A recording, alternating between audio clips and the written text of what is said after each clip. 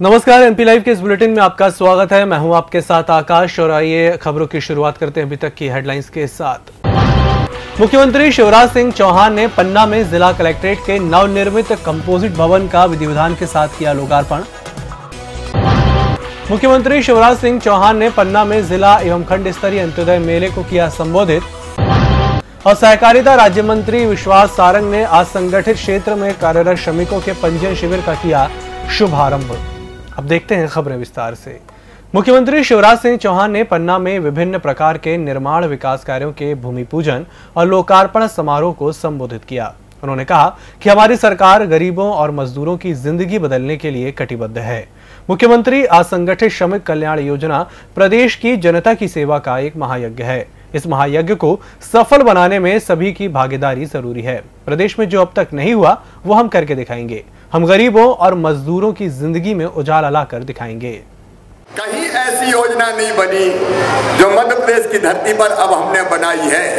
और वो योजना है मुख्यमंत्री मजदूर, असंगठित मजदूर कल्याण योजना। और उस योजना में हमने मजदूरों का रजिस्ट्रेशन करना शुरू किया है। अब इन मजदूरों का रजिस्ट्रेशन हो रहा है।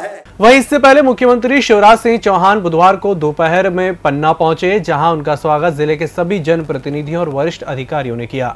इस दौरान प्रदेश की कैबिनेट मंत्री कुसुम सिंह महदेले और पन्ना ज़िले की प्रभारी मंत्री ललिता यादव सहित अन्य स्थानीय जनप्रतिनिधिगण मौजूद थे। सहकारिता राज्य मंत्री विश्वास सारंग ने भोपाल के वार्ड 38 एकतापुरी, वार्ड उनचालीस चाणक्यपुरी, वार्ड 70 अर्जुन नगर, वार्ड छिहत्तर छोला दशहरा मैदान वार्ड उन्यासी सरदार वल्लभ भाई पटेल स्कूल प्रांगण, करोन और वार्ड चौवालीस आचार्य नरेंद्र देव नगर में असंगठित श्रमिक पंजन शिविरों का शुभारंभ किया। उन्होंने शिविर में प्रभारियों को पेयजल सहित सभी आवश्यक व्यवस्थाओं को सुनिश्चित करने के निर्देश भी दिए। सहकारिता राज्य मंत्री विश्वास सारंग ने राजधानी भोपाल के चेतक ब्रिज पर गर्डर लगाने के कार्य का शुभारंभ किया।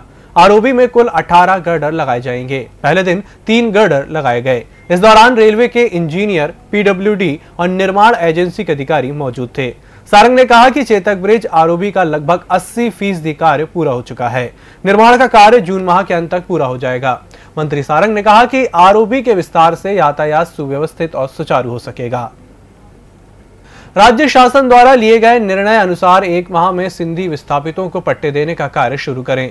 भोपाल रियासत से संबंधित मर्जर एग्रीमेंट के संबंध में भी जल्द कार्रवाई करें।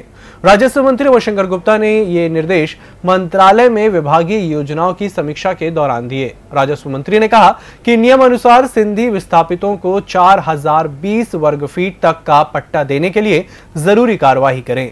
उन्होंने पटवारियों के लिए पदोन्नति नियम शीघ्र बनाने के निर्देश भी दिए। मुख्यमंत्री कन्यादान योजना में 18 अप्रैल को इक्यावन जोड़ों का सामूहिक विवाह सम्मेलन राजधानी भोपाल के टैगोर छात्रावास खेल मैदान श्यामला हिल्स में होगा। विज्ञान एवं प्रौद्योगिकी मंत्री उमाशंकर गुप्ता ने स्थल निरीक्षण कर अधिकारियों को व्यवस्था संबंधी ज़रूरी निर्देश दिए। इस बुलेटिन में इतना ही। बाकी खबरों के लिए आप देखते रहिए टीवी। नमस्कार।